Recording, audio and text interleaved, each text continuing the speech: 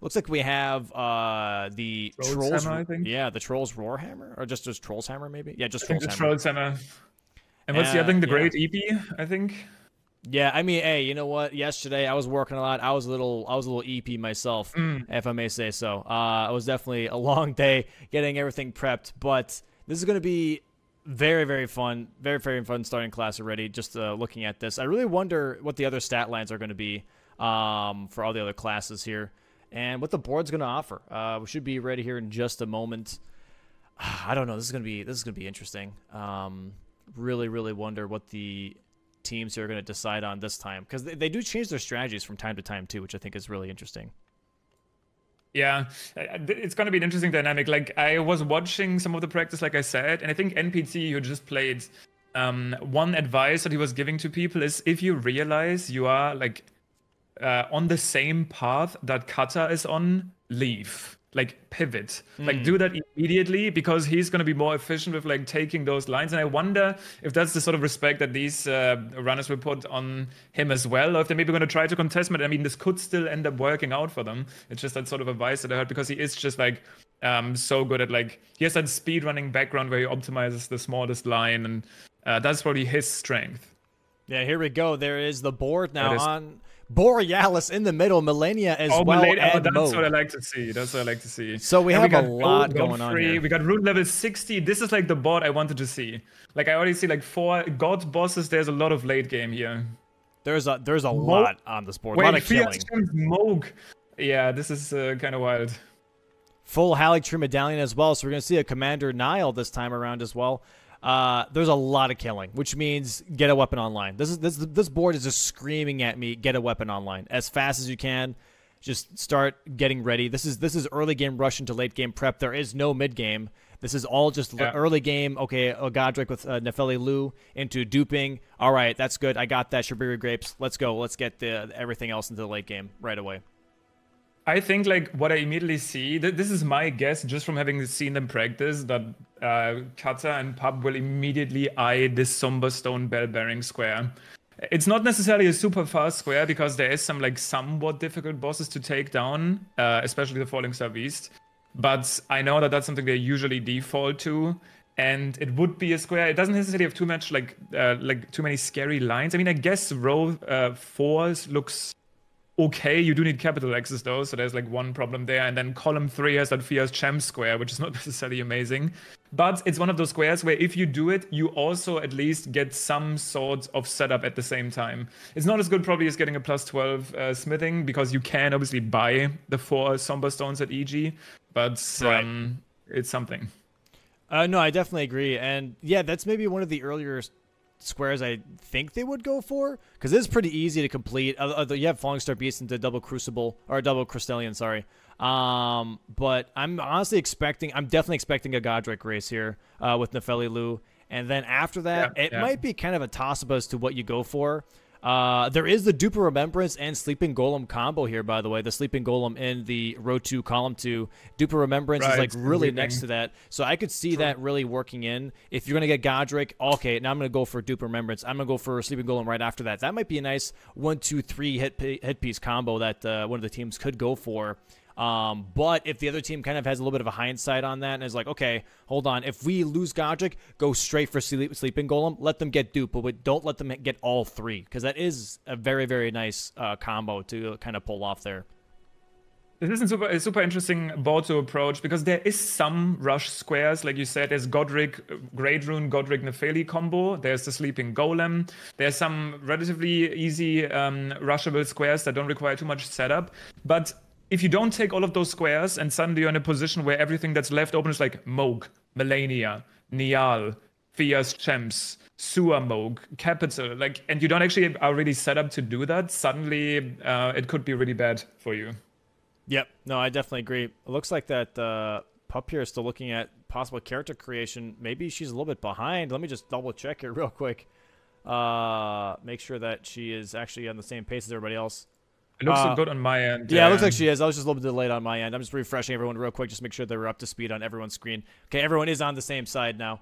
I was a little worried there for a second. She did not see the clock, uh, but everyone running across the bridge now. I think everyone going to the same class again.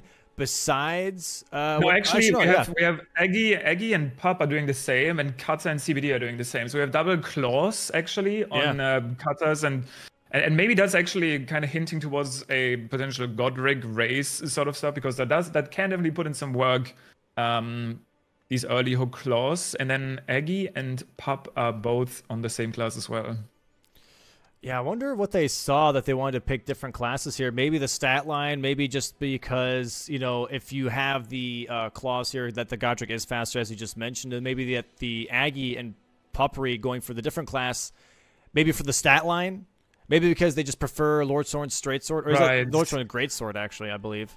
Um, it is a great sort with the stamp yeah yeah. Um, now, one thing that I'm actually not exactly sure about, but you as the host might be able to answer this for me. If you don't get hit while summoning Nepheli Loux, would that still count as hitless? Like, it doesn't matter if she gets hit, right? Correct. The That would still be hitless. right. Yeah. So that's actually quite an intense combo there. Hitless bo- Remembrance Boss, Godric while summoning Nepheli Loux, and restore Godric's Great Rune. That's probably an angle that both teams will be looking at.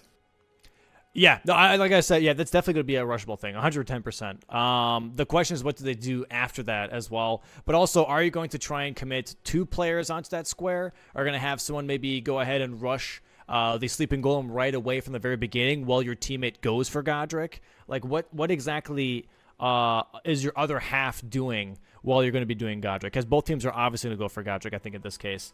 But uh, Yeah. what is your teammate going to do? I think that's going to kind of also set the tone for the rest of the game because if you have, let's say, uh, you know, Aggie go for, or in this case, CBD actually go for Godric, and then Aggie going for uh, maybe Lightning Ash Ram of uh, Ram of War. Right. You know what I mean? Did I just say it wrong again? Lightning Ram. I, I think every, I think everyone got what you were saying. Yeah. At least I did. Yeah, Yeah, yeah, yeah. classic. Um, yeah, looking at the the mark, um, just like what these players have like respectively marked, it's uh, it's gonna be interesting because we definitely have a lot of overlap. Like you said, both teams definitely angling uh, Godric and the Sleeping Golem. I think those are kind of like the diverging paths. Like if you're going for Godric, you're probably not gonna go for the Sleeping Golem unless, and maybe this is gonna be what we talked about earlier. You could potentially be really greedy and be like, oh, maybe I can kill Godric and then also dupe his remembrance on my way to the Golem. But I don't think they're gonna make that. They're gonna let that happen. Like I think one part of the team will try to secure that uh, that Sleeping Golem kill. Yeah. Yeah, I'm really, really curious here. We're gonna, we're gonna see the decision making real quick in just a moment, and there it is. Immediate pivot to Sleeping Golem. This is exactly what I was expecting. Both of them going exactly. Okay, so Puppery and Aggie going for that Sleeping Golem right, right away. Uh, that, that's Assuming they both know that bridge jump, this is actually going to be really close, and every single move will matter. There's this double jump you can do here onto the side of the bridge where you will barely survive. Pup is doing it well, and Eggy follows essentially a very, very head-to-head race. And that's probably the reason, that might have just been the reason for them picking the great, so just to get that extra like stance damage to actually to stagger that uh, that golem and get that kill quickly. Yeah, this is definitely already a huge race from both teams, and I do wonder. This might just come down to. Uh, oh Thank you for your no! It comes down to that. That's already enough time for Puppery to possibly get the golem way before Aggie does, sli- uh, sliding off the rock here. That is not good. That is not good for uh, Team Monkey Ballers here. Losing a little bit of time, not getting that Spirit Spring jump will possibly cost him this square. No, the opposite side of the, uh, the screen, essentially, or the team. We have uh, the other two runners actually head into the Margit fight right now. They both got their claws online, and they're gonna be trying to. It's gonna it's gonna be an interesting dynamic in this sort of race because maybe one of them gets hit in Godric but ends up killing him quicker, and then maybe one like I, the worst case for either team is if one player gets everything. Uh, Yeah. Nepheli, Hitless, and the Great Rune, obviously. Yep. Yep. No, I definitely agree. And uh, this is going to be a bit of an execution uh, display here Like, from from uh, both uh. teams here to see okay who's got the faster Margit fight from CBD and uh, Catalyst. CBD getting here a nice bleed proc on his Margit. Both of them kind of at the same health bar right now. Um, I'm surprised that the people when they do get Raptor Talons or they do get any other like fist weapon like this, they aren't using the quick quick step as much as they uh, Yeah, should. yeah. I feel like because if you quick step into an R1, you can easily tag more often than uh, if you just keep rolling. It's I... quite stunning to see how far Pub is ahead on the square simply just off of that jump. It's a double jump that I feel like most people have put into their repertoire, like that double jump off the Spirit Spring there. Yeah. Pup making it like work first try. It, it's such a huge difference. Like, it's looking like a 20 second plus advantage she has on that square right now. Oh, Pup dies though. That's she gets actually gonna be really close now. Uh, Aggie just spawned in. I don't know if she, uh, it doesn't matter if you grab the Gracie, right? You automatically respawn because of the the trapped feature. Right, right. I believe so, yeah. I but uh, looks like that yeah. goal, sleeping goal, taking out now. his mortal and pestle and turning Pup into dust. This might be Damn. what Aggie needs to get back into uh, this race here for the square. Okay, gets the first stagger. I believe he's probably gonna need at least like four or something along those lines. Yeah, looking a lot uh, between like four and five with this weapon. Yeah, this is looking really close. This is going to be very, very interesting, this uh, this fight already. And it looks like that Kata is already on his way over to Godric, while CBD is still opening the gates. Yeah, definitely faster Margit kill there coming out from Kata. Oh, boy. And that's exactly the sort of thing we've talked about. Oh, wait, Aggie dies as well. Right at the end, they're getting stepped on. And now Pup is in the lead once again. This is one of the most interesting sleeping golem races I've ever seen. Not much EP to be had, yet this golem is out for blood. Oh, no, and now Pup oh, dies again. This golem is vicious today. I'm pretty sure both of these players have to be thinking at this point that the opposite team is doing something else. This is a similar scenario to what we've had last time around, where they basically both kept on dying to Omen Killer, and no one really had some informa- information about what's going on. And that's actually going to be interesting. Like, even if Aggie gets this square, he probably won't know what Pup is working on. He is in the advantage right now, but I mean, this golem is out for blood. We'll see who actually get the square eventually. That being said, we did talk about briefly earlier Kata on these sort of races, we do give him a little bit of an edge, and he's definitely showing up right now. He's already at the Grace before the boss fight here. Yeah, Agate currently one riposte ahead on Pup on the sleeping golem here. If he just keeps up this poise break on that one ankle, he should be good to go. Gets another uh, stagger here. Going to go for another riposte. That chest just sticking out uh, just enough for that riposte animation. If he keeps, oh, that's a little early. Oh, I should be. He fine. needs two more, probably. Nice, nice. Okay. Chain doesn't even give him a chance to react. Oh, oh no! Wait, the he chest goes up. Of the... Oh god. This is actually not very good at all for Aggie. This means that Pup might be able to catch up here now with the next stagger. He needs to make sure that he gets the stagger here uh, so he keeps his lead. As Pup is going to have her sleeping golem turn into a car for just a moment and vroom across the arena. She does get a stagger here, though. Aggie dies again, though. He oh no, he got knocked up there, um, trying to dodge the step, and Pup is now in the lead once again. it has to be this the craziest crazy. sleeping golem race of all time. This is ridiculous. There is another stagger here from Pup. She is confused. Am I on the right side? Am I on the wrong side? She misses the riposte. She couldn't tell if she was on the right side or the wrong side of the golem. Oh, she's got to be careful here now. She might die. Again, grabbing out his mortal and pestle, slamming the ground, does not like the bug, and she dies! Oh my no god! Way. There's absolutely no way. There's absolutely no way this is happening. Also, on the other side of the screen, just to mention real quick, either Nepheli's AFK as usual, or did they both decide against summoning her? I'm not too sure as their camera is kind of uh, covering up the NPC helper. I don't think they actually summoned her. Yeah, I think they both went for the read into thinking maybe I can get the square by not summoning Nepheli because they prioritized that over it, which is going to leave that open for the other part of the team to eventually grab later. Very interesting. Oh no, Aggie now on the chopping block here for the sleeping golem has got to make sure that he gets good RNG. There it is. That's a better RNG move. They can go and roll through and get that ankle shot that he really needs for another stagger. Hits the kneecap though, sadly, so that's not going to be a poise break. Okay. Does a jumping R2, very nice.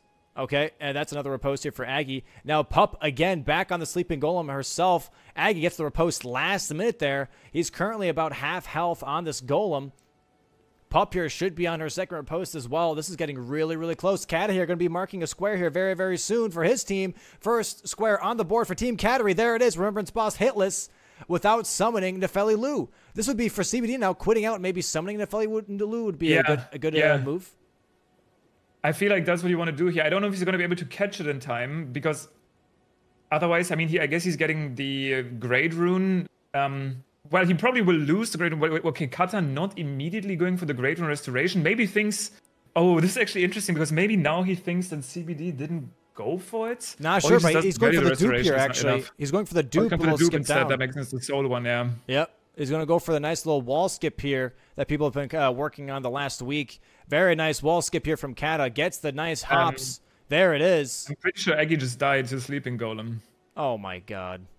this is uh, like I, I I I god. You know what? You know what's funny? When I first wrote this square, it was like, hey, make weeping a bit more fun. Have, have some right, more squares right. in weeping. It's sleeping golem. It's not that bad, right? And here we He's see. He's sleeping, right? Surely. Yeah, it's your sleepy EP golem. And here we see, oh my god, Pup Wait, getting just swiped. died to sleeping golem. I can't believe it. This golem is on an absolute killing spree. 10 to 0 right now. Bats Puppery away like a fly in the room. Does not want her around right now. Aggie now back, slapping at ankles. Okay, interesting. So Kata is more interested in setting up some sort of line threads because CBD is most likely going to be able to get that restoration square going here. I, I, think I think that's interesting that he does actually decide to go for this. Maybe he's kind of reading into Kata's decision making here because obviously technically there shouldn't have been much of a chance for him to get the square if Kata chose this. A little bit of a gamble, but it might actually end up paying off for him. Yeah, this is very nice bluff call here from CBD, thinking like, okay, he's not going to go for restore a great rune. He's going to go for dupe. I think this is a really good play from CBD because he's like, yes, yeah, duping yeah. is faster than restoration. I'm going to go for the restoration. Uh, so that way, at the very least, uh, we can still get a, a, square on the board. Here's another square for Team right now, two to zero currently, duping that remembrance from Godric from uh, from Kata. Very very nice play, and he's going to move Where's straight into going? checking weapons. Golem currently stuck in the door uh, on Eggy's side of the screen. Pup's still working on the next stagger. The HPs are actually very similar between the two. Oh, no. Pup is getting the next stagger, but Eggy's still kind of stuck trying to build up more poise damage. And what if Pup ends up winning here even after the last death? I think she's exactly one riposte away from actually beating the Sleeping Golem finally. Oh no, this is so this is oh, so there it goes. There it goes. All she needs to do right now is do the R1 here on the weak spot, and Pup will actually end up winning this. There it is. Sleeping Golem. 13 minutes into the run, and Eggy just sees and sees, probably thinks that this can't be real. Um, wow. Yep. 3 to 0 for Team Cattery early on. Obviously, quite interesting. Now, I will say, none of these players are really setting up too much. I mean, um, I guess Kata at least has some money and he might and this is what i thought so he is going for the somber bell bearing square i know this is something he very highly values because all of these early game squares are slowly but surely being basically marked away and um, honestly if i'm red team that's exactly what i, what I want to keep doing here which would force the opposite team into these late game squares but they won't actually be able to they won't actually be set up for it now Kata's team doesn't necessarily know this. In fact, they essentially have basically zero info on what they're doing. They can only assume that they've been sniping them on stuff because they haven't marked anything. But I think it's a, good idea. Eggy, oh no, it's, it's one of those days again. Choosing the same square as again after just being sniped on Sleeping Golem. Picks up the Rot Grease here. Both of them actually at the same time trying to go for Falling Star Beast. I will give the edge to Kata here with the curved club. Yep, strike damage is going to be way better on the Falling Star Beast rather than a Great Sword. Uh, and I think this is actually CBD giving away that, yeah, Kata, you beat me to Remembrance Hitless, but I restored the Great Rune. This is a little bit of information that Red Team's going to be getting now from that square completion. But at the very least, 3 to 1 now, uh, at, uh, Team Monkey Ball is on the board with that, uh, with that square. Uh, Aggie grabbing the Smithing Fives here, maybe going for the ladder skip. Going to be getting rid of the Pest Threads attack real quick so he doesn't get one shot. As he's got to be careful. His vigor level is really, really low here. Possibly yeah. quit out or something just to drop the aggro. Um, not going for ladder skip either, by the way. So this is going to be very, very interesting on who's going to get this Falling Star Beast first. Looks like that Kata currently is on the same route as well, getting, getting absolutely drilled in the back. Jesus. Uh, yeah, I know Aggie values the square a lot as well. Oh my god, wait. Okay, Aggie does not have the vigor to tank the blast right there. Um, that's actually the remembrance money difference. Uh, wow. This uh, is not a very good start for Aggie. Definitely can't be feeling too good about that one. Uh, thankfully, he at least is getting some smithing stones on the way. And this is exactly what we talked about earlier. Despite everything, even if he ends up losing the square, I actually, I'm not sure if Kata's game crash, if he's just getting the slowest load of all time after quitting out here. Could be okay, okay, just a very slow load. I think this tunnel in particular ends up loading yeah, quite yeah, long. This, this tunnel takes a really, really long time for some reason. But, uh, but yeah. Oh no, Somber four pickup. I was expecting I was expecting him to pick up the Somber four here on the wall before going into the Falling Star Beast fight, uh, and go straight into the fight with rot grease on his curved club.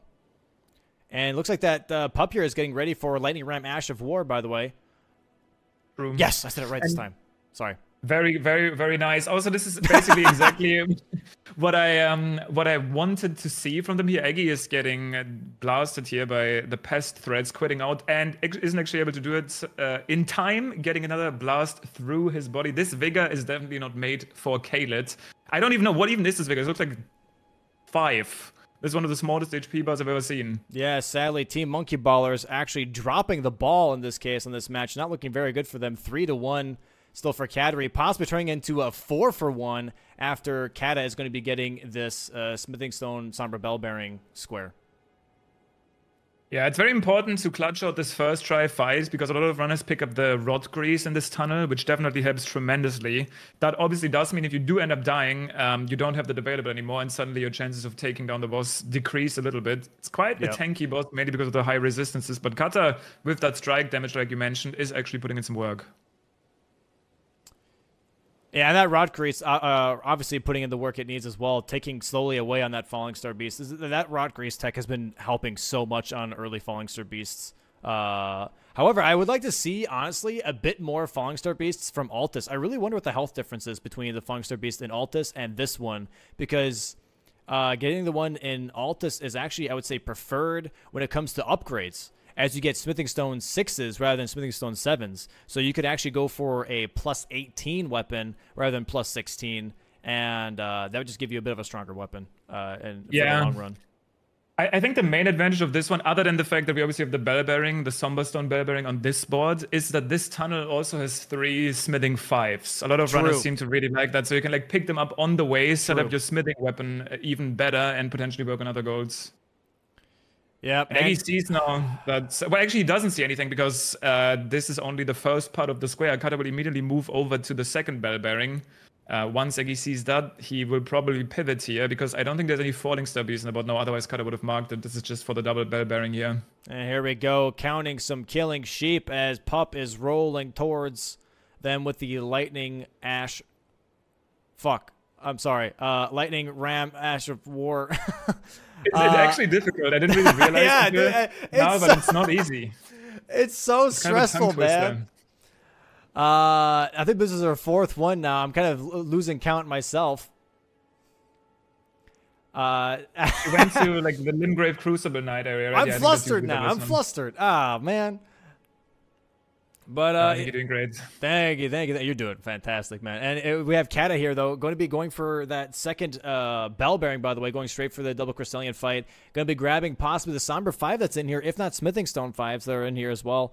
Uh, sadly, Aggie setting himself up here though. To there's actually secret tech there's actually secret tech, and I don't know if Kata is, is like um, knows about this, but this tunnel has crystal darts on the way to the boss, and there's the triple watchdog square on the board. I wonder if he's. I feel like if anyone knows, it's Kata, and he might actually go to the right and pick up those because that's obviously a super powerful weapon to take down those watchdogs. They will literally be fighting each other. Yeah, I guess we'll see. Go to the right. Nice okay, he, he either doesn't want to go for them or he doesn't know about them. Yeah, I don't think people know about it too much. Uh, to be fair, the crystal darts is definitely a bit of a, a niche pickup, or maybe they just haven't seen the watchdogs yet because the early game was so right, prominent. Right. With, uh, by the way, Pup uh, marking that uh, for uh, fourth square for her team, the Ash of War Lightning Ram 10 kill sheep square. So currently four yes. to one now for Cattery, and now I, I believe for Pup, it's time to just upgrade it's time to just get something online, get your levels, get your weapon, uh, because the rest of this oh. board is oh. just kill, kill, kill, kill, kill. I didn't see them pick up great stars. It's obviously a very powerful pickup. Now, one thing that has been that I've seen a little bit um, from MPT as well is that right now, where um, Pup is, there's actually a this Scarab, and the Ash of Wars are not randomized, and you can pick up wild strikes here, which is kind of crazy with that weapon. Yeah, uh, that's definitely a super solid weapon for a lot of the the bosses on the body, especially like Borealis, um, is actually getting blasted by that strike damage, wild strikes, and I think she might be going for it. She's kind of heading towards that Scar. She might actually, she might be ignoring that and instead try to pick up that Nepheli square right now. That's kind of left open, one of these other early game squares that they could be taken away from the enemy team. That is very true. Yeah, they might just uh, go for a little bit of double dipping here on Godric, which I think might be a great play as they're possibly expecting that you know Team Monkey Balls is not going to go for it. Uh, one more Crystallian left here for Kata as he's about to get to mark another square for his team.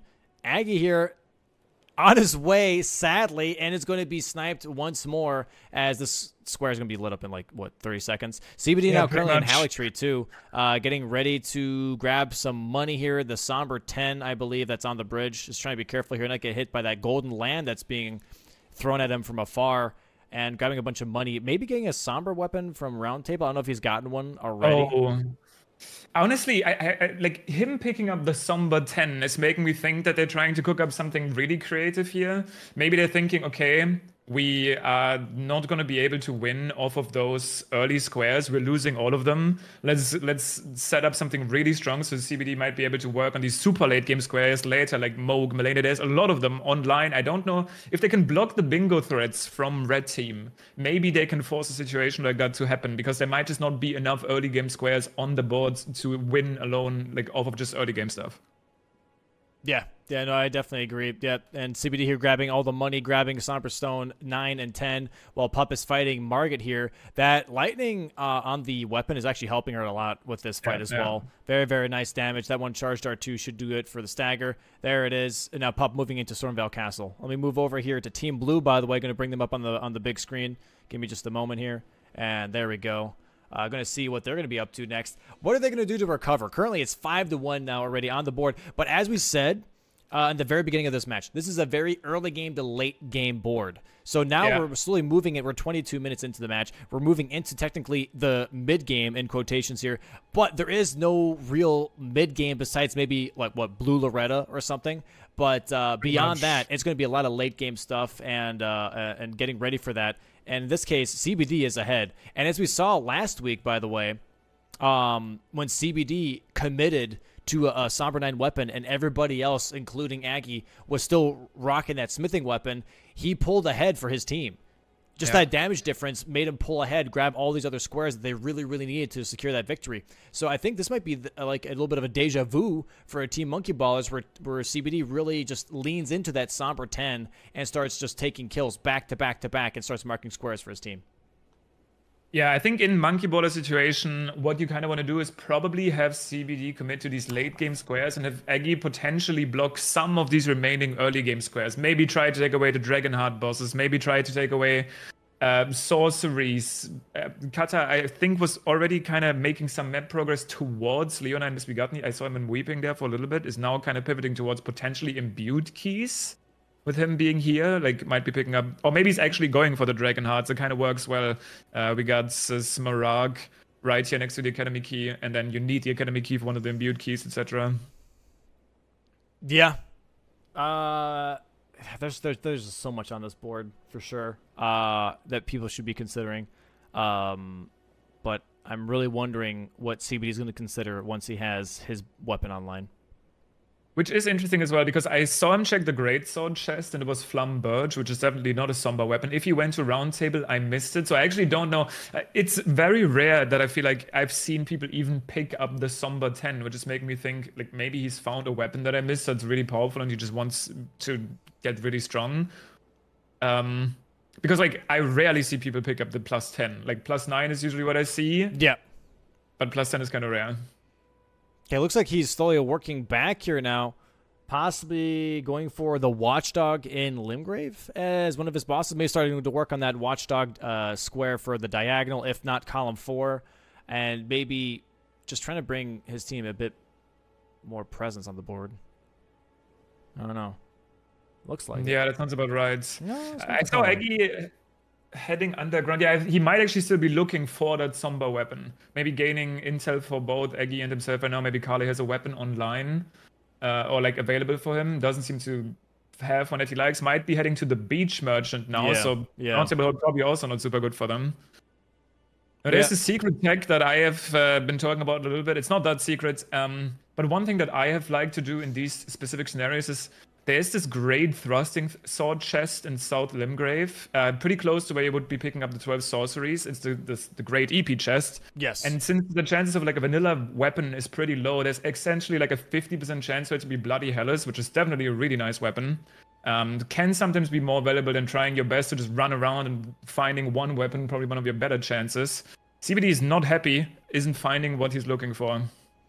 Maybe the Weeping Merchant might be his last resort, to be honest, for a weapon here. But looks like he's just going to cash in all of his runes and go for a weapon that he has in his inventory right now. As uh, Pup is currently in that Godrick fight here with Nepheli Loux summoned and dealing a lot of damage here.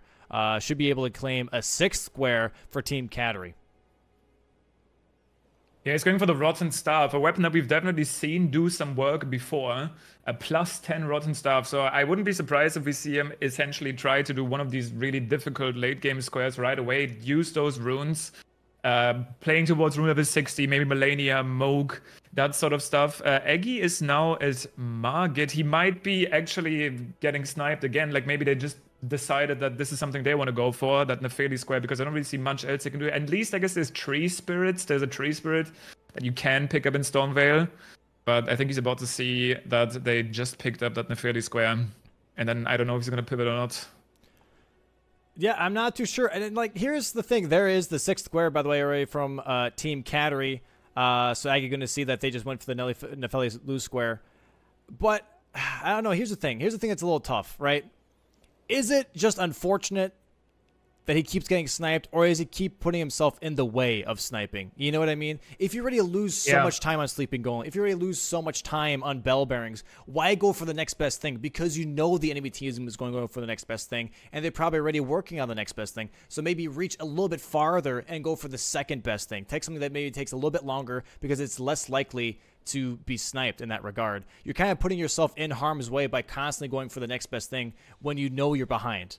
Now you don't have a weapon online. Now you don't have levels.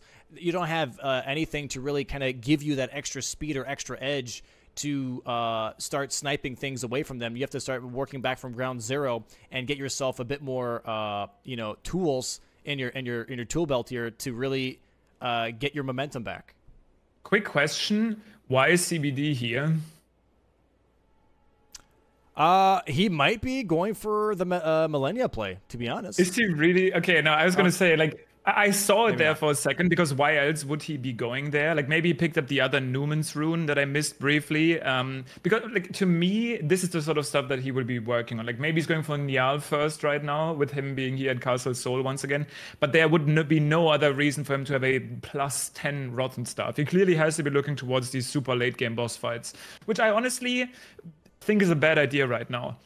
You have that set up. You can go for that later. What you need to do now is take away these early game squares to actually use that advantage, right? If you just work on Borealis, Malenia right now, like the, t- the other team is probably not going to be working on that anyway. What you want to do right now is take away the Dragon Hearts. You want to take away imbued keys and then be in that situation where Cattery has to go for Malenia, Mohg, etc., but they are not set up for it. So I don't really understand why they would be going for these late game squares now I, I mean, I guess he might be trying to just block column three right now by potentially yeah. going for Borealis. That's kind of what he's riding. Yeah, let me let me go ahead and move over to Team Blue here real quick, guys. So get ready for that as we uh, slide over to the other overlay here. Um, yeah, so this, uh, I think the Borealis fight is not a bad fight. It is center square. It blocks the diagonal. It blocks row three. It blocks yeah. column three. And he does have the strike weapon. It does. There's a lot. There's a lot of going on here for Borealis that I think it's not the worst play. CBD is equipped to do it, and um, he's going to be able to at least wow, get something wait, on the board. Yeah, it's a lot, a lot of damage, and uh, I, I think this at the very least will start to build some momentum for Team Monkey Ballers. It is a bit of a high risk, high reward type of play for sure. He's got to be really careful here. He might die from those screams. He's got to be really, really careful yeah. not to like be at the head of Borealis, more like at the back feet. Does get a stagger here though. Very, very nice. Should hopefully get a rot uh, in just a, a moment here. Thousand damage. Okay, wow, that is bad. some serious damage here. Nice for post on top of that. This is going to be a very, very quick fight here. Maybe charge shot two again on the headpiece. Going to have to oh, back off here for the screams. Probably. Yeah, but that rot is going to put in a lot of work. Don't move back in. He's going to, yeah, there it is. There's the scream. CBD, back yeah. off, please. There it is.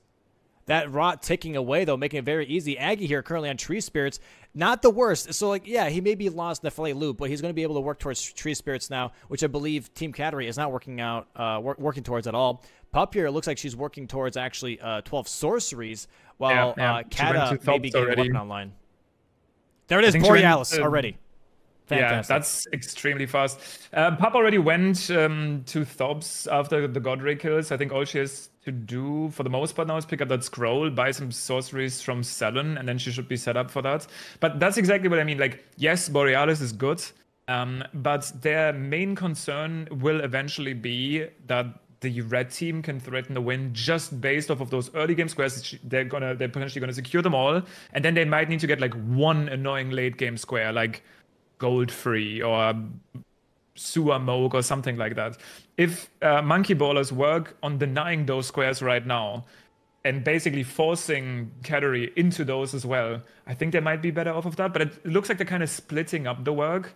Um, CBD. Oh wait, maybe CBD is actually doing the dragon hearts now. I didn't yep. even see that uh, that synergy at Borealis, and now he's going to blast with the other two dragons. That does work out pretty well. This is what I was talking about, like literally not even five minutes ago this is the what they did last week. CBD getting online with that weapon that he really, really needs. Oh, he's getting a really unfortunate attack here. Might be a cliffside Agheel. Um, but this is what I'm talking about. Exactly what he needs, though, is just that one weapon, and he's going to start bulldozing through all these single uh, kill squares, um, and even like the early game stuff. It's going to be way more, uh, more easy for him to catch up now because he's got that momentum. Yeah, yeah, he can definitely put in some work there, and I like the idea that Aggie is now working on. He's working on tree spirits here. This one in particular also combines uh, works pretty well with the physic flask tiers. So if they do get some of these early game squares away from Cattery, then this huge investment from CBD might pay off big time. It's a nice little Agheel kill here from CBD coming out. That's the second Dragonheart boss. Going to be promoting row one at some point and also blocking that column two, by the way. This is going to be Aggie's second tree spirit now, which is going to be, where is that? Yeah, so that's also going to be blocking row four. So this is both of them really committing to uh, that column two block, but also really like just building presence on the board, which I think is a really, really good idea. Um, now, Cattery is definitely working on column five here. They don't know that yet, but uh, um, Pup is about to finish off her 12 sorceries. Uh, Kata is definitely working on god bosses. Yep. So if yep. one of them can end up getting that full Haligtree medallion, that's definitely going to be a big threat. And that's exactly what they don't want to happen. They don't want them to get an early win just based off um, early game squares and like one bingo. The good thing is though, once CBD finishes up the Dragon Hearts here and potentially sees that column five threat, which if Kata, knowing Kata is probably going to hold the God bosses for a little bit to potentially go for like a sneak attack there on column five. Uh, I do think though CBD obviously has the advantage on stuff like Nia. Like he's literally blasting through the whole game right now with this plus ten rotten staff. Yeah, I don't like, think. I don't. I, I, don't think CBD should be going for God bosses here. Haligtree is going to be way faster for him. You just do Castle Sol Skip, do yeah, yeah. Uh, Nile with the you know plus ten weapon. This is honestly, this is all. This is literally all of it. All of this is playing into CBD's favor right now because he is currently the strongest player amongst all four players. He has the strongest weapon. He's got the most levels. Uh, he can just take control of this whole game pretty much. And there it is. He's going to move straight into that uh, Castle Sol Skip into Haligtree Medallion. Yeah, it's Niall time. Or not. Oh. Uh, looks like he might go for Loretta real quick. Uh, potentially setting up his own threat. But I mean, row three. I mean, they don't know that Kata's working on God bosses, obviously. Or at least they might not know it. Um, he doesn't really, he didn't really give much away. He, they know that he has Godrick, and that's pretty much it. Yep. And uh, Okay, that was uh, Aggie's second tree spirit. Going to be going for the Altus tree spirit as his last one instead of going for the uh, Limgrave one, which I think is a good idea because you do need two Stonesword keys, and also you need to. Um, there's a lot of travel time involved, so I think this one is definitely a better pickup. Maybe a bit more health on this one, but still a decent pickup here. That's going to be a nice square uh, block here for row four, and. Uh, Okay, looks like that actually Kata died, by the way, on Godskin Apostle. He's still on this fight here. Very low health. Doesn't have any healing anymore either, trying to bait out that overhead attack. But sadly, it doesn't really seem to get it. Apostle is not here to play, trying to defend uh, King of the Hill. Yeah, we see the damage difference coming in between the two Great Stars users there on Team Cattery and CBD with this plus 10 rotten staff. I don't know if this is essentially what he is working on right now, or specifically what he's working on right now, but I almost, he just got the Loretta Grace. And I kind of like the idea that he's essentially setting up all of his re- these responses. Like he can basically react to whatever Cattery is doing and then just race them to it just because of how powerful he is. Obviously, there's a chance for them in their mind that Kata also has a powerful weapon online, but I literally have almost never. Oh, he's actually going for Malenia right now. Just setting up oh, these boy. other responses later, getting that square away, maybe getting that rune level um, 60. Because there is a potential row 5 threat, uh, depending on how many runes Team Cattery is able to get. Let's see how this works out. We do know that Malenia is rottable. Uh, colossal weapons, though, not that great versus so I'd say. Yep. However, CBD has done a lot of hitless fights, so he should be pretty uh, well versed in this fight as well. Let's see how it goes. Uh, with the Colossal, yeah, it does decent raw damage, though. It is going to micro stagger her in a lot of her attacks. Uh, if anything, this is just a patience patience game right now. Uh. Compared to like Borealis or other bosses that you can just honestly just bulldoze right away and not even like really consider punishes. With this fight specifically, make sure to play uh, with patience. Yeah, I don't know how their communication is, but technically CBD is in this really good spot where he can just sit here and then like um, actually, I wonder. Uh, there is a potential player that I could see from Kata where he goes to like three god bosses and then tries to go for the full Haligtree medallion, knowing that he will probably win that god square if it comes down to it. Because if he does mark that god square, um, especially after having seen that CBD was able to take down Borealis, which might make him kind of like maybe he thinks, okay, CBD is probably pretty strong. I should not show him that he can snipe this Niall away from me. Um, I wonder if that's ever a play. Like just getting three god bosses and then trying to do something else to secure the, the column. I'm going to go ahead and move here over to the four player screen, by the way, guys. So that bingo board is going to move away for just a moment. But that's just so we can get all four fights or all three fights on the big screen here.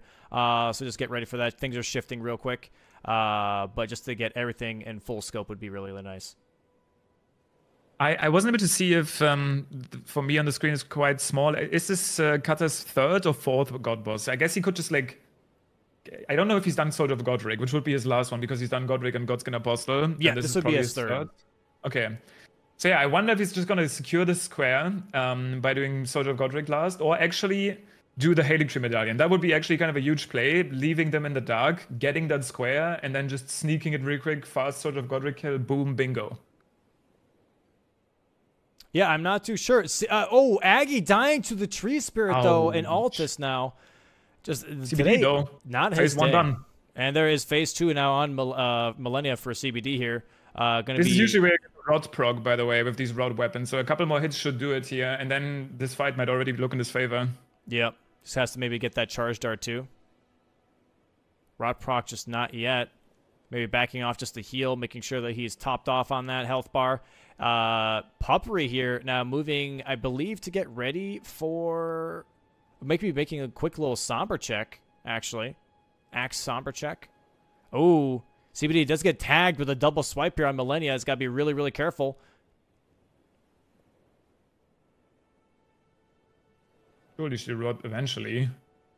At some point, perhaps. Perchance. Any perchances? Nice little charge R2. Should get a stagger here soon. Oh, there's the rot. There's the rot. Rot is on now. That is definitely going to be very, very useful here.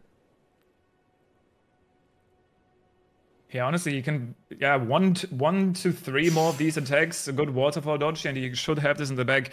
Eggy is once again fighting the Tree Spirit. I think it is his last. Yep, it is his last Tree Spirit. That's going to be blocking row four. There is the stagger here on Malenia, by the way. Nice riposte wow. from CBD. He should be getting the uh, uh, Aeonia Flower attack now. Uh, gets Waterfall first, actually. Okay, she is not happy.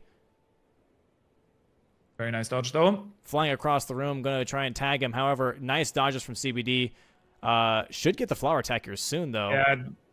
If she, if, if, if he's able to get like a little bit more stance damage here. There it is. There it is. Okay. Jumps into her maybe into her here with a jumper too, and maybe one more charge deck or something, and she might be staggered into a win. The rot is still ticking down. Looks like that Puppery is working towards Shabriri Grapes, by the way. Going to be fighting Edgar here as an NPC invader. And there is Aggie's third tree spirit getting a square on the board for Team Monkey Ballers. Uh, blocking this is a row good four. comeback pace right now. I think the CBD, if he gets this kill, is probably going to be, if not already, uh, he mean actually he might, he just has to be on rune level 60 from this kill. I think that alone is like essentially enough this fight, and he's like one it away. Going to be swapping over to Team Blue here, real quick, guys. Adjust your eyes, adjust your eyes. Wow. There it is. There it is. Malenia kill here for CBD on the board now. Malenia possibly into level 60. This is going to be now going to be six to seven in squares very, very, very soon here. Huge play from CBD. 40 minutes into the fight, a Malenia fight, uh, Malenia kill. Sorry. Yeah, I mean, I'm pretty sure Millennium is alone allowed to reach level 60. So he definitely just has to level up here. I think it's like 450,000 or something. Yeah, level 60 done. Still 250,000 runes left. He is set up to just basically kill everything that's left. Like, honestly, all they need to do right now is block these early game squares, and then he can just kind of just blast for the rest of the game. CBD getting a huge adrenaline rush here, trying to shake that off real quick as he is going to be going for Soldier of Godrick now, which I do believe is a bit of a misplay as he should be going for Haligtree, I feel like, in this case. Uh, but is going to be going for that instead. Uh, by the way, for anyone that doesn't know, uh, Malenia does count as a god boss because Goddess of Rot is That's in her true. name. So he does actually have two god bosses already. Going into Soldier of Godrick now is going to be his third boss. So this might be something where he can catch up if he gets uh, the fights back to back. And honestly, this would be kind of crazy because it looks like Kata is doing exactly what I said. He's leaving that God boss there on three. He's buying the Bewitching Branches and he's going to try to get the Haligtree Medallion now. I, I think that's the only reason he would pick up the Bewitching Branches, right? To fight Niall. Yeah, potentially. Yeah, this is. And then CBD might actually be able to take it away from him, which would be massive because he would then also have the advantage on Niall. This is this is absurd. This is absurd. This game turned from holy guacamole four to one for uh, Team Cattery to seven to six now, with Team Monkey Ballers possibly having uh, advantage now on the whole board. Oh, but Kata is pivoting away from it again. He did buy those, but he's now actually going for Soldier of Godrick. He didn't feel comfortable, especially after that Malenia kill, to just let that square sit there. He's going to try to finish it off, and I think he will, because I think CBD is only on two God bosses. Even though he has the advantage here on Soldier of Godrick, he won't be able to kill another one by the time Kata finishes this, most likely. And then it's going to be an Niall race, which Kata already has the Bewitching Branches. I mean, CBD is arguably just one shot, like literally one tapped Rick. Um, but yeah, I'm pretty sure Kata will get this square, and then it's going to be down to a Niall race. Yep, uh, it'll definitely be a race that, and I believe that is a race that CBD is going to win, uh, just because of that Somber 10 weapon. CBD has Malenia levels. CBD has a plus 10 Somber. Like I said, he is still the strongest player right now uh, across sure. all By both far. teams. So this is this is what I, like everything is playing back to. This is deja vu of last week, where CBD just gets prepped. Aggie does all the early game work, and next thing you know, CBD is just going to be bulldozing through everything, while Aggie tries to get his own character back up to speed. Like this is this is I think what like teams should be fo- uh, focusing on more is pivoting back and forth. Have someone be strong, have someone rush, then have the person that was rushing get strong, and then have the person that is strong now start bulldozing, make choices for the team. And CBD sees the square mark right now, has to immediately pivot back to Niall. I don't know why he's even heading in that, into that direction. Uh, he should probably be immediately teleporting away, and that's what he's doing, still in aggro. Now, even though I completely agree with you, and CBD has the advantage on Niall, there's one thing that Kata is going for him, is, which is the Bewitching Branches. If anything ruins your life in the Niall fight, it's his summons. And Kata being able to turn them around and get rid of them at the same time is going to be some sort of advantage. I'm actually not exactly sure if he has the first type of the medallion picked up yet, because obviously Niall is not going to be enough. If he has that, that would be another advantage just of riding time. I'm not gonna lie here. Uh, Even if CBD has or doesn't have bewitching branches, I'm gonna tell you right now. Okay, off the top of my head, at plus ten, uh, rotten staff uh, is possibly gonna charge our two one shot his summons. Um, I'm not. I'm not gonna expect them to live very, very long. Like that is something that he should be able to deal with uh, just fine. Um, he is actually going so fast, by the way, that his camera went blurry. I can't believe the speed currently on CBD's screen. He, he is he is zooming for real. Now the one thing again I, I'm lacking that piece of information. It can be hard to keep track on all four screens at the sa- screens at the same time. Kata is actually struggling a lot here with Castle Sol Skip. Uh, CBD is already about to enter the fight, so he's definitely has the advantage on Niall.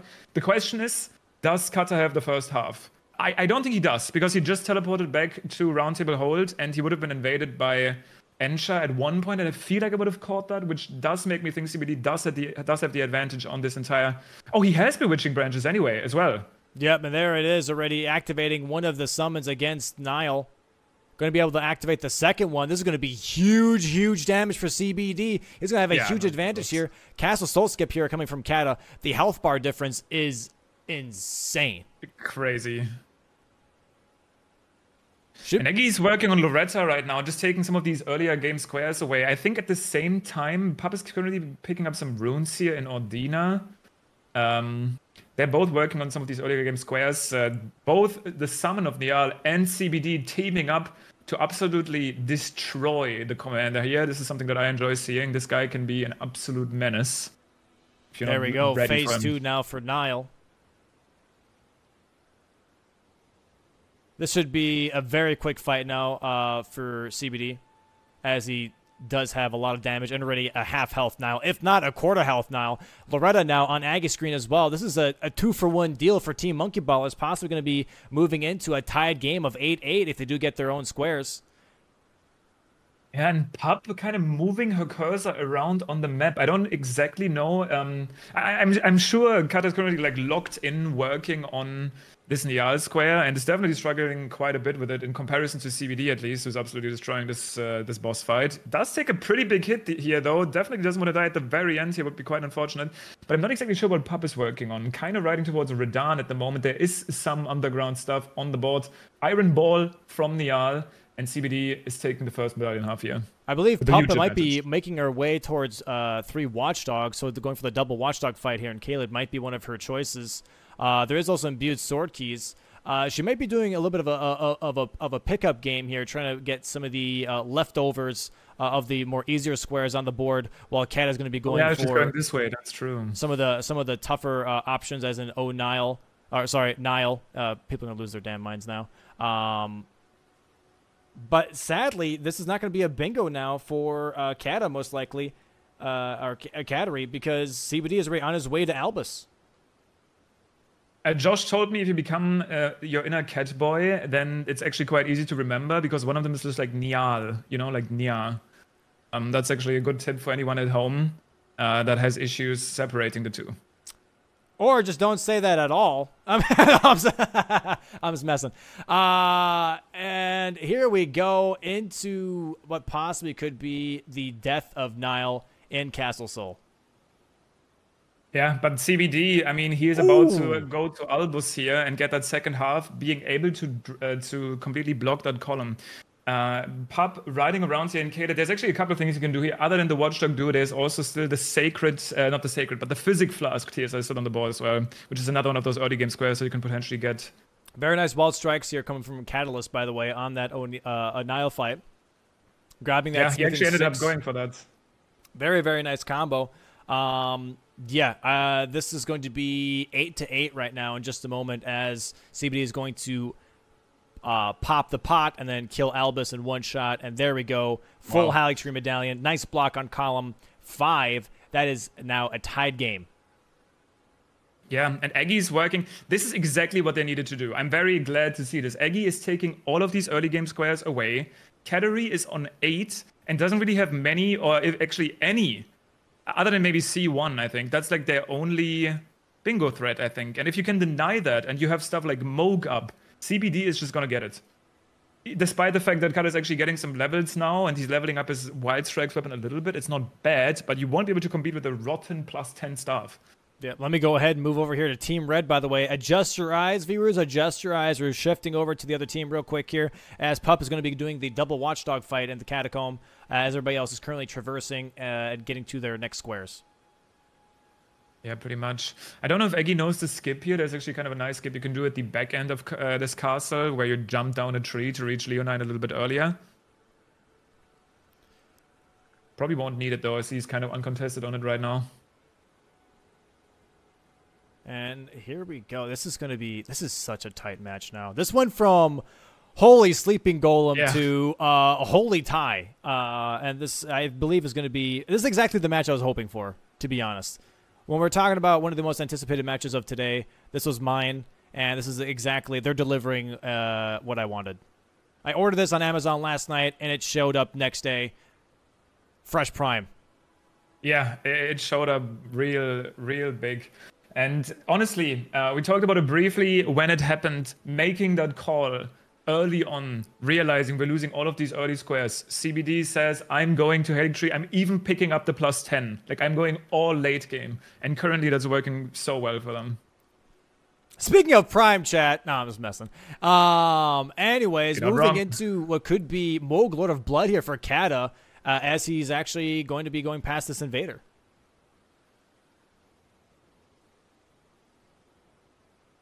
This is gonna be, ah, dude. This is this whole board's crazy.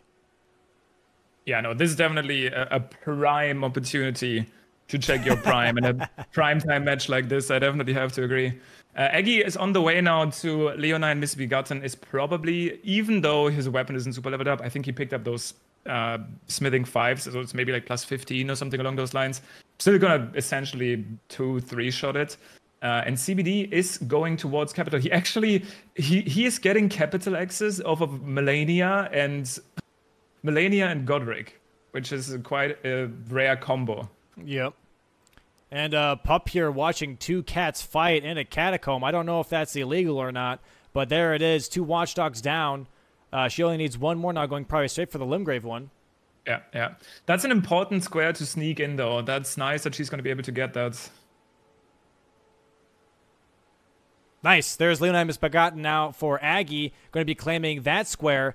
This is all of the bingos now are blocked from Team Monkey Balls. This went from possibly triple threat on the board to no threats at all. Um, yeah, there's no more bingos. It's just gonna. well, actually, I guess C column four. Yeah. Four. Yeah. But I mean, like but for I mean, for Team Cattery. Yeah, yeah. Yeah, exactly, and and Pub is about to block that too, so this is just gonna come down to a straight up like lockout essentially. Oh, she went to the the wrong cave. Yeah, I have to go over to the uh, catacomb behind the Church of Valor.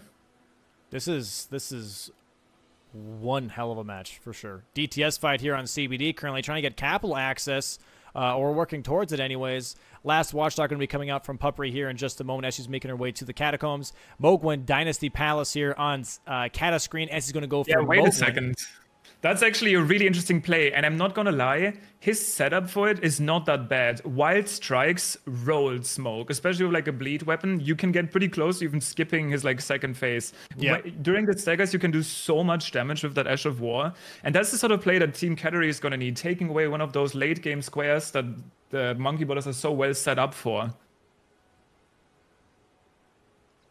And it's also going to get him very much on the board. Like he's probably going to have enough health to work on all of these other uh, remaining squares. Imbued sword keys, something that's completely left behind, something that you can pretty easily do without any weapon setup. You just gotta, I mean, you got, you have to kill Red Wolf, but that's pretty much it. They also have that advantage on the Shabriri Grapes, uh, which is something that uh, might come into play here. Like, in fact, if Kata gets the Smoke Square, they're about to get the Watchdog Square. Uh, suddenly they can get pretty oh. close by just doing like grapes plus one and another one. A little bit of feels lag man for just a moment. Thankfully for just a moment this time. Um, yeah, this is this is interesting. Eggy is probably working on that 10 Physic Flask tier square here, going to the third Church of Marika, where he's going to pick up the Physic and then one plus two more tiers on the tree. Once again, the strategy remains the same. Eggy working on those early game squares, just getting them away from Team Cattery, and CBD just killing everything that's over 10,000 HP, essentially. Very quick uh, Watchdog kill here from Pup as she gets Getting that stagger. Down. Yep, there we go. And that is going to be the last block of bingo this match, as it is now 9 to 9 tied for both teams. No more bingos left. Full majority. Who gets the 13 points? Okay, so Eggy working on this square will actually be very important. Um, Kata only setting up Mohg and pivoting to the imbued sword keys is kind of big brain. Because I was just kind of doing the math and like, how many squares do they really need here? Eggy is about to take away the Physic Flask. Kata has advantage on Mohg now, and he's working on the imbued sword keys, which I believe he automatically has uh, an advantage on right now by just being in the academy. I don't think I've seen any other player in, in, in the academy in the first place. So I think he's going to be the furthest ahead in that regard. That would say, would give them the 10th square. They have the advantage on the grapes, which is 11. He has the advantage on Mohg, which is 12. The only problem is Fia's, Mohg remaining, which CBD obviously has the adventure Mohg. He's in the capital right now. Eggy is working on those physic tiers. This is going to be extremely close. Yeah. Um, this is probably going to come down to the last square, just from like the looks of it. Yep. No, I, I definitely agree. This is going to be extremely close. Four squares is all that they need, though, to claim the victory. Godfrey and Mohg Sewers is currently in CBD's pocket, though. That's already two. Physic Flask tiers from Aggie, that is three. They, if they get all those three squares, they will have control over the board, and then becomes a, a guessing game for Team Cattery on which is the fourth square. This is yeah, going to be very, but, but very actually, I, I, think this is going to come down to Fia's Champs, and it's a really good call that that's what Puppery is working on right now. I don't think anyone has any progress in that regard because CBD is getting Godfrey and Mohg Sewers here, right? Eggy is getting the 10 Physic Flasks. Kata potentially will get imbued sword keys and Mohg, depending on how the fight will go for him, because he has that advantage. Yeah. It's going to be 12 to 12, and it's going to probably come down to Fia's Champs, and it's a really good call to send Puppery there right now. Eggy should probably go there next. Yeah, I guess we'll see. I'm, I'm really, really not sure. Really, really not sure. Okay, listen, listen, listen. This might be Listening. the super rare play of Fia's Champs after Mohg Sewers. I well, you have to kill Morgott for that, though. That's the thing. Oh, yeah. Otherwise, the seal doesn't go away. I right. wonder if this is something um, that they could potentially do.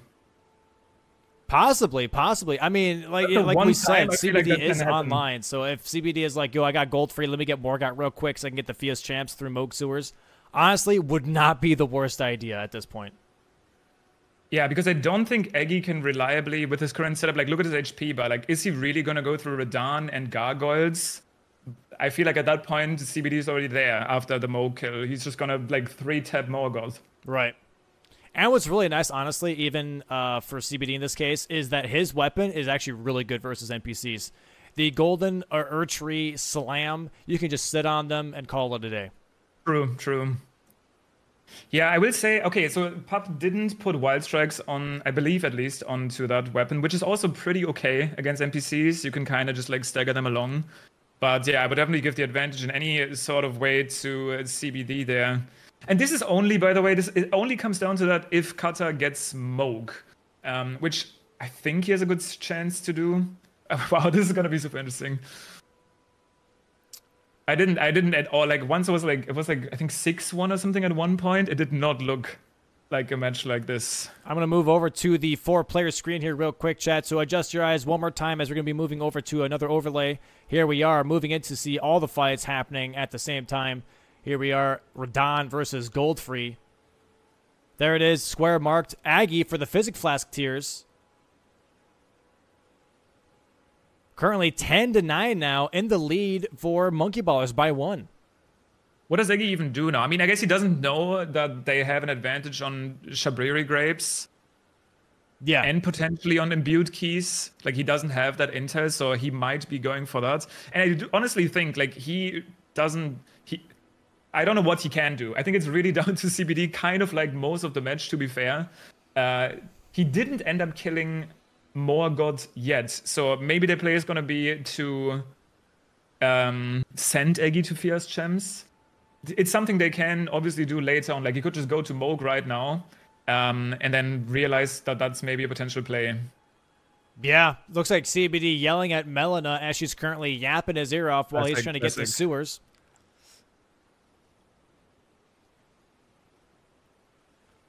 But yeah, I, this is this is uh this yeah, is a tough call. for grapes. I think.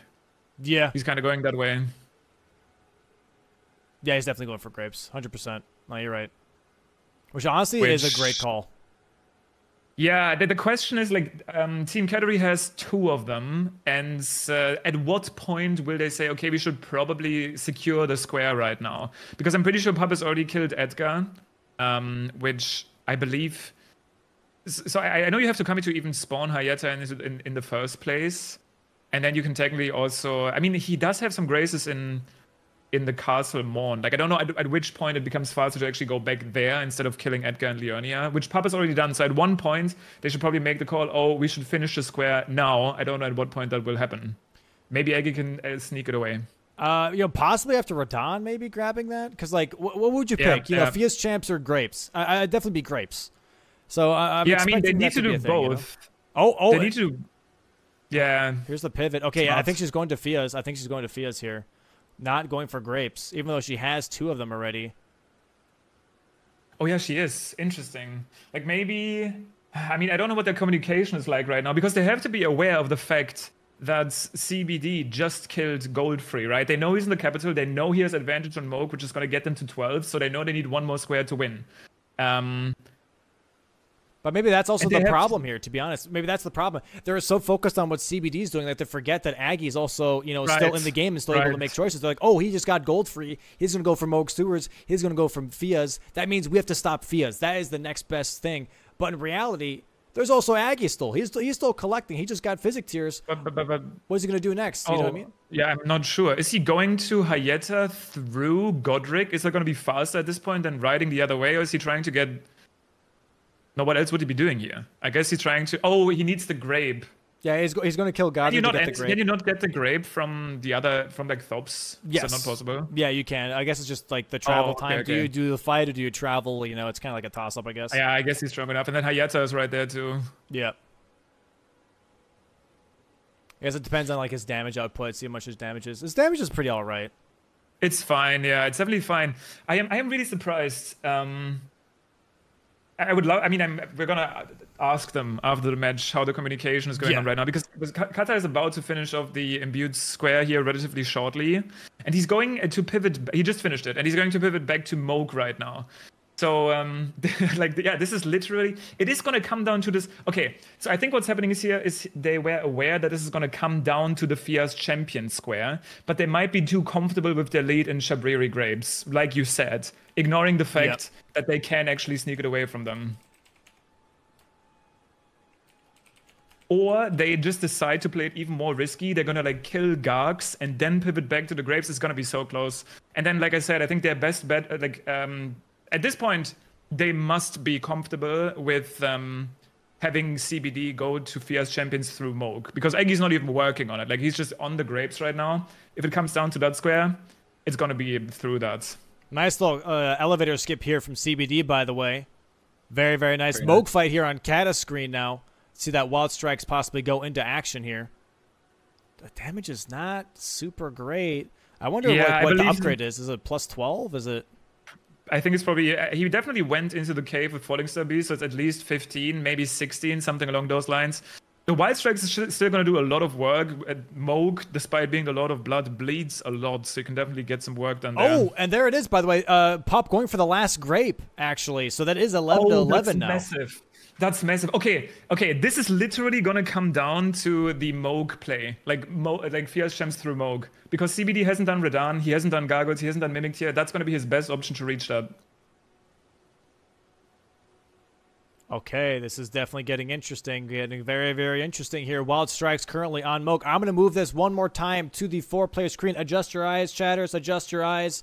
And here we go. We're moving into a bunch of fights here. Double Mohg, technically. Am I hallucinating? Mohg Sewers and Mohg, the actual guy.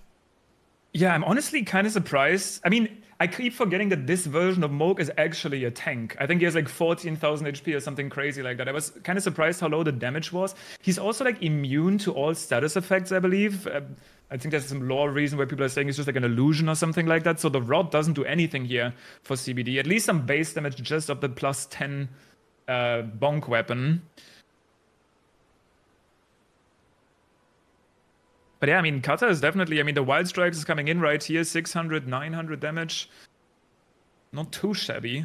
Sewers should be down here in just a moment for CBD. That's going to be another square, so it's going to be 12 to 11. However, Pup is going to uh, kill her Mimic in just a moment here and then make her way towards Gargs. This is definitely a, a full on race to Fia's, just as he's called has- it. Yeah, he has the advantage, and I don't know. Are they aware of this play?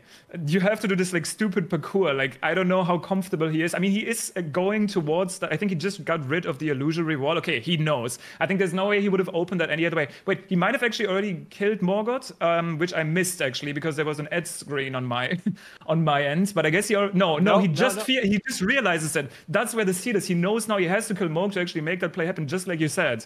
And he didn't. Did he not pick up any graces up there? I don't think he did. No, he had avenue balcony. His avenue balcony. Oh, okay, okay, okay. At least that. That's something. But he has to run all the way back up the branch. He didn't grab the grace from Godfrey, so he's Yeah, he all could've the way back the up. rampart. But I do think that's still worth the time in this case.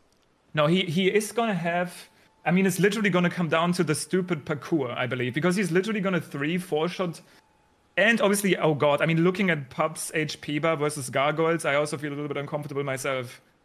That's Yeah, not, not something too I sure would enjoy doing. Kata right now in phase two of Mohg, by the way, really, really close to getting this fight completed for his teams. This is what current. That's going to turn into a 12-12 tie here in just a moment, unless he has an incident.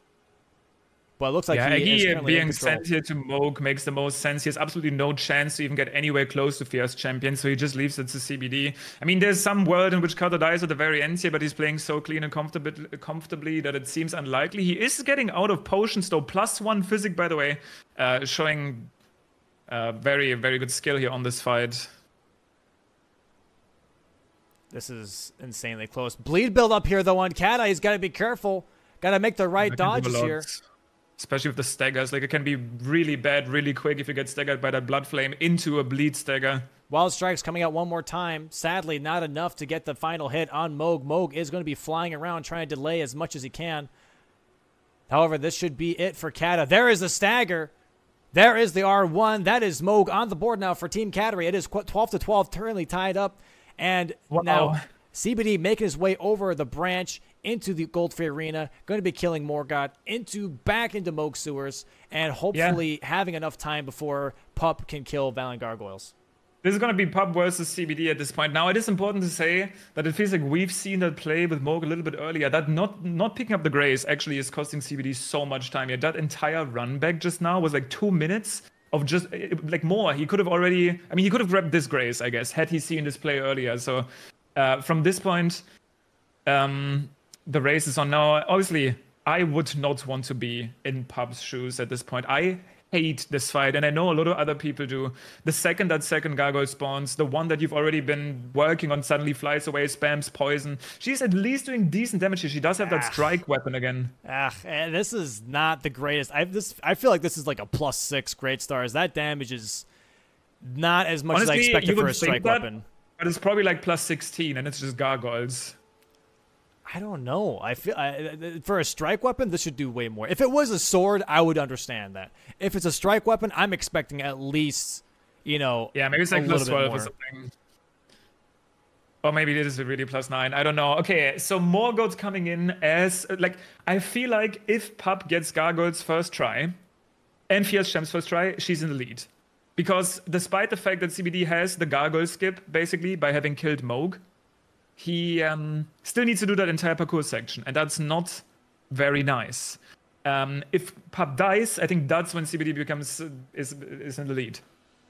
Yep, CBD currently on the Morgott fight. He should get the rain attack here in just a moment. There it is. Does he get a stagger though? Doesn't get the stagger. Just rolls out real quick to make sure that he doesn't get tagged by that move. That is a very devastating attack. Uh, Pup here on Valiant Gargoyles. Going to be dealing now with two at the same time. Has to be really careful here. She did level her health bar at least a little bit just to make it a little bit easier Yeah, on herself. But here's the poison mist coming out of the twin blade one, and now poison mist out of the uh, sword one. They're both just misting up the place, trying to make sure that they can Classic Gargoyle. hotbox her out of the arena. But uh, it looks like Pup does have control over this fight. Yeah, she's doing really well. And if she can clear up that first gargoyle, this fight becomes so much easier. Like, it's not amazing, but it becomes so much better if you don't have to deal with the constant poison spam, which the other gargoyle is cur- currently doing. Is able to run out of it in time, so at least doesn't get that heavy poison buildup on her. Oh, she really needs to get rid of that first one. That's Or got really down, by the way, for CBD. Huge. Okay, this is this Oh, is but turning she this can't is, leave. This is turning into to CBD's fight here now. As he uh, has this down, he's gonna be able to jump past the seal and go past into Fia's Champs. This is actually turning into CBD's favor. This fight is going longer than we expected for Pup.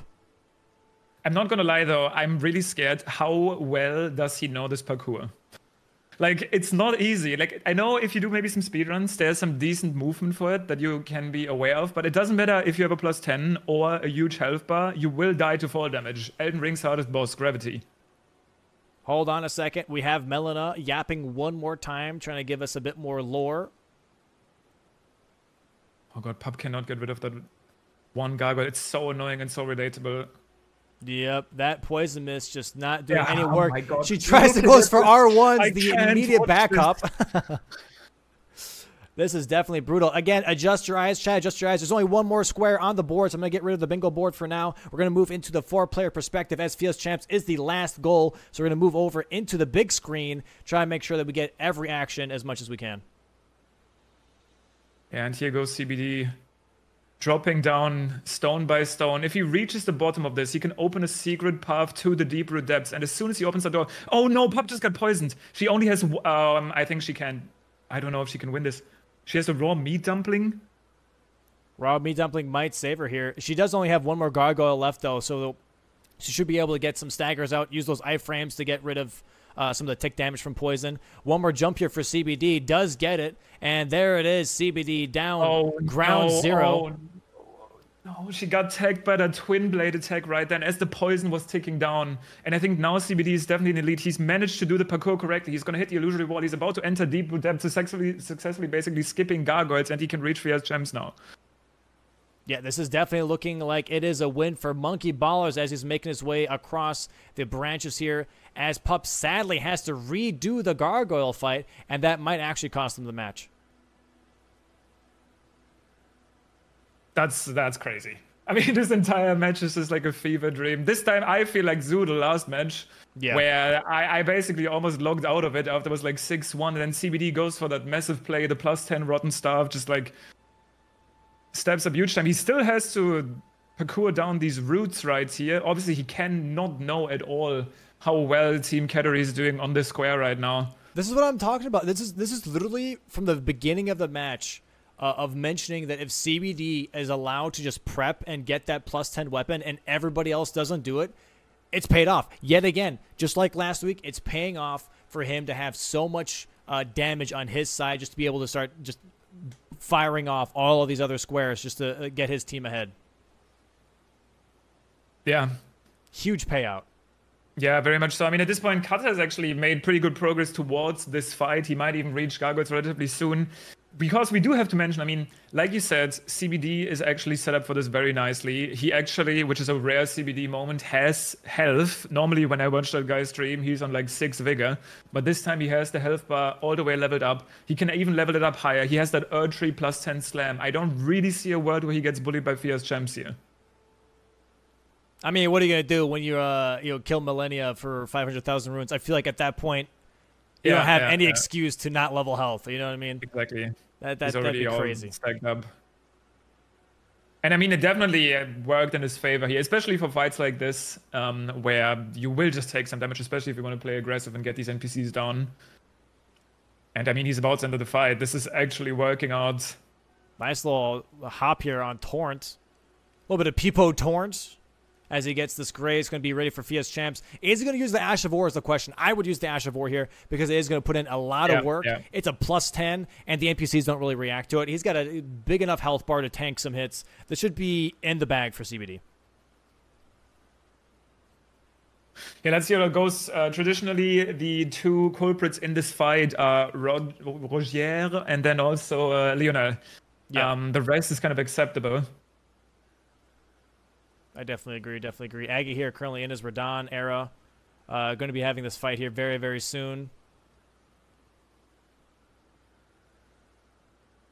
Alexander smacking his head against Leonard. This is getting insanely close. And here it is. Oh, look at that damage on Fia's champs. Jeez. Very, very nice. Three little bonks should do it. There it is. First Fia's champ is down. Second one should spawn here soon. Gargoyle still on pup screen. Looks like she died again, as this is currently still Yeah. only the first gargoyle.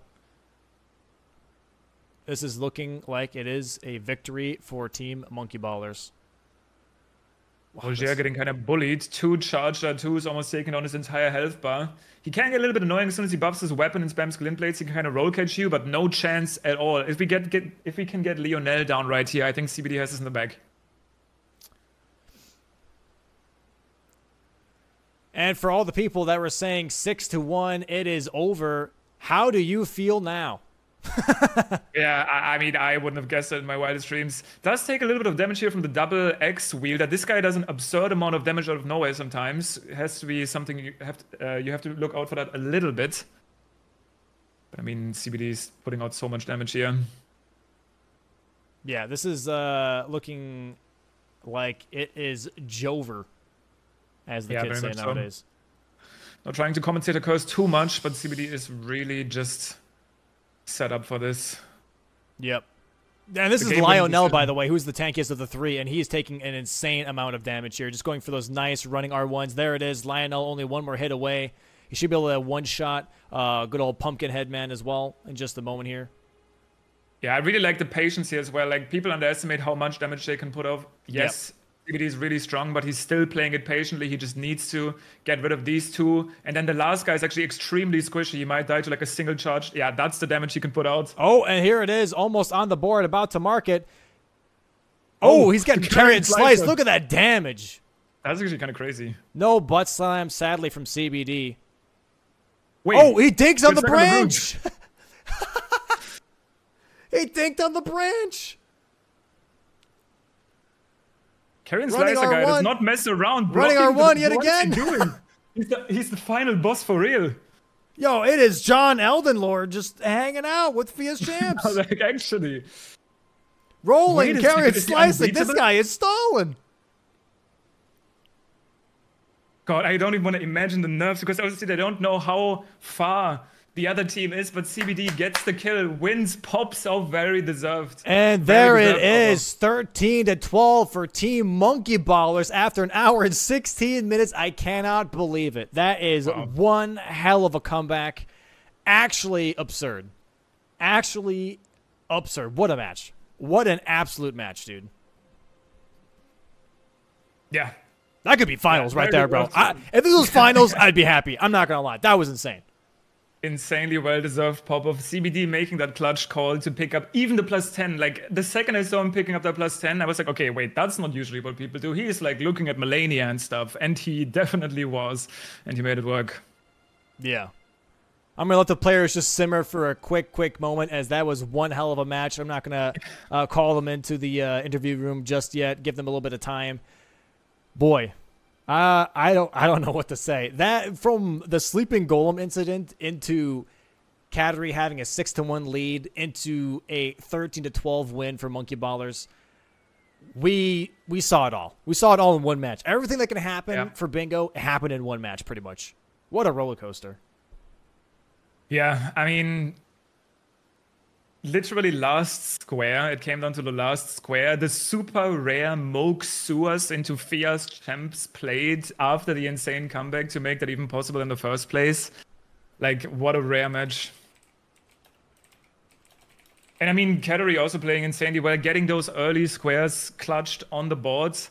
And uh, yeah, not able to capitalize on that last square. I mean, I wouldn't want to be like I I wouldn't have been even close to beating Gargoyles in spot Pup was at like I I just despise that fight. Yeah. And uh, and I mean, I, CBD didn't even have to with his unique uh, approach to it. All right, we're going to be moving over to the post screen here, guys. Let's get ready. Players look like they are ready to be interviewed, so we're going to go into a quick post match. Uh, again, hey, we're back on screen, Lynn. We're back on screen. There's so much happening for an hour, 15 minutes. They hopefully they didn't forget what we look like. Uh, we are back Yeah. here. Uh, let me go ahead and bring in all the players. Uh, and here we go. G G's guys, G G's the team Monkey Ballers. Holy thank frickin' you. guacamole! One hell of a match. There's a lot to talk about, a lot to break Wowie. down. Uh, wow. A lot, a lot happening, a lot happening. Okay, so first, let's just uh, get things out of the way. Sleeping Golem, what the hell was that? All right. Dude, oh okay, let's God. talk with with uh, both Team Catter and Team Monkey Ballers had an incident with Sleeping Golem back to back to back to back.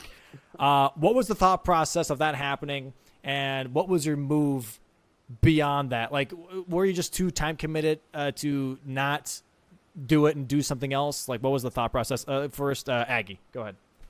Yeah, so um, obviously that was the most frustrating thing of all time. I'm just full tilted me for the rest of the match.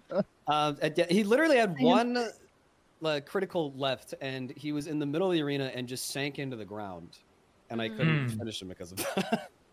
Dumb. so like, uh, yeah, and then and then incidents happen like I think three more times after that. Um, I, I was saying that like the t- the attempt I was on when Pup clicked the square, I, if, whether I got it or not, I was just gonna leave because it was just com- taking too much time. And um, Yeah, yeah, we, we wanted to get me. somber bell bearing early, to set up for the later game. Mm-hmm. But uh, yeah, then I got sniped on that as well because I got a ridiculous snipe from across the cave on a on one of the bugs. Mm. Oh yeah, yeah. So yeah, that that was just a double whammy of extremely frustrating stuff. And then at that point, yeah, like obviously I'm way behind, and I just needed to find ways to contribute. So I went for stuff that was unlikely to be contested that got us important blocks, while CBD just went for the big combo play.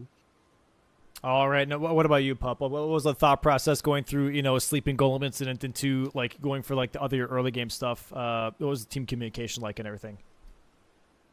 Yeah, uh, I mean, kind of just uh, the time sync was there, Mhm. and it was kind of like feeling that a lot of the other early game stuff, the other thought was lightning ram, and by that time, if I, um, if the other team raced that first, like I would have lost it anyway, and uh, kind of thinking that maybe the other person also has an incident, so, um, yeah, not sure.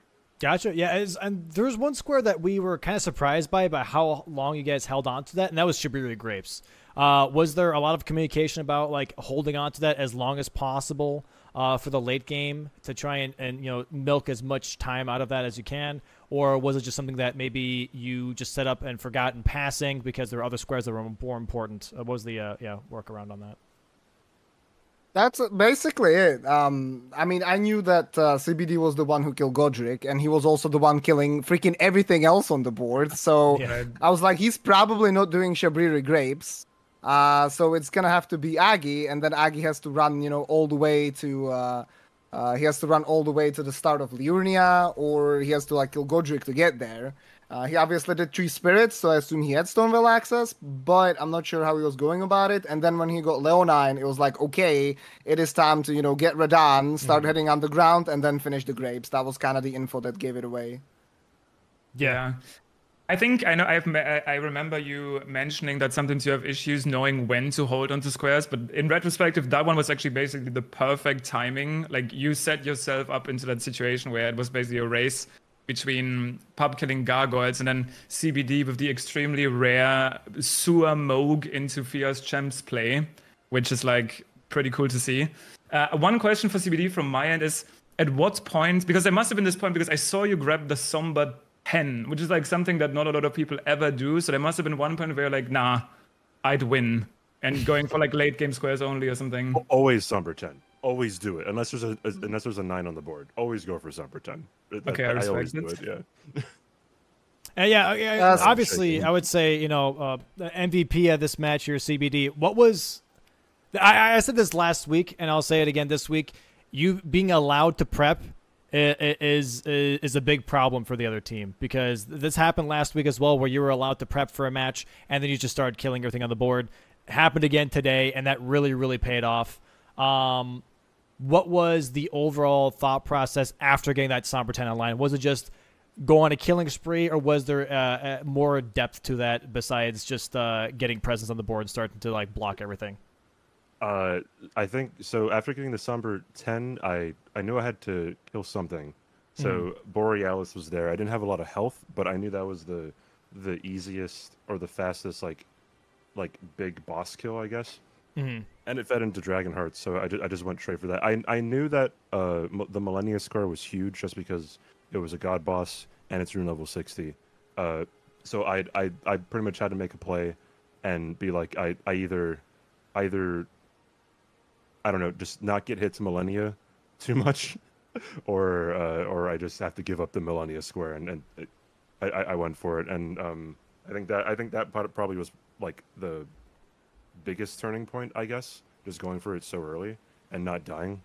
Um, and then Partially, yeah. Medallion after that, yeah. Yeah, partially, yeah. So that that Malenia was at least the turning point for Monkey Ballers for sure. Tar- started to take that board back uh, and, and presence. However, I would say the biggest turning point was the Haligtree Medallion Square. Blocking that, Okay. uh, Yeah. blocking that column five and taking that away from Cattery uh, really put a lot of pressure on them because uh, Kata was on the same uh, progress as you.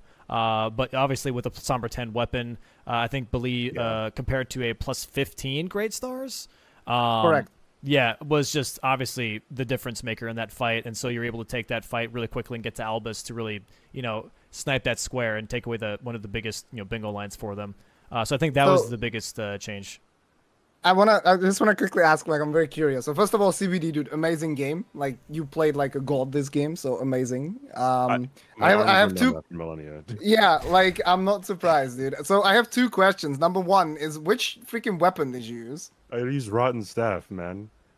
Where'd you find that? Old Altus? was- Yeah, old Altus. Oh my god, dude! I, I because I got the somber bell bearings. I went Yeah. on a search spree for a somber weapon because I wanted to quickly set it up as well, and I couldn't find anything. I feel like I searched the furthest that I've ever searched for a weapon, and I couldn't find a no, single somber too. one. It was I, I, I, crazy. I went I went to Kale, I went to Beach Merchant. I never do that, right? And I, I just I yeah, just yeah, same, same. Yeah. Oh my god! And um, second, uh, what class and uh, gift did you start with? I started with uh runes, the, the lines between rune, and um, uh, I started with Raptor claws, whatever that class was. Yeah, okay, Started yeah, the yeah, same yeah, same. class. Yeah, you started the same class. yeah, class. same. Okay, yeah, yeah, Oh, so did you have bewitching branches for Haligtree Medallion? yeah, yeah. I did. I, I, I got it before I went to Malenia. I think. Ooh, that's that's that's smart. Okay, yeah, Yeah. because I was thinking that when I get god bosses and I mark it, Yeah.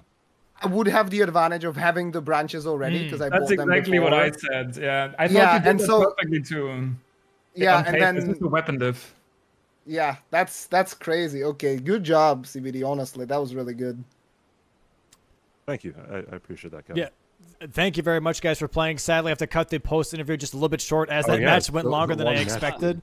But uh, uh, thank you so much for everyone for playing. It was a fantastic match to watch. If you guys have the time to rewatch it, please do. Uh, there is a lot of like information I think that you guys as players would find very useful as well uh, going into the next week's match and in even tomorrow's match. So uh, thank you again uh, for everyone for playing and best of luck tomorrow to your uh, match tomorrow. And uh, I'll see you guys soon. Thank you very much. See ya, Thank bye-bye. you. Yeah, Guys. GG's. GG's. GG's.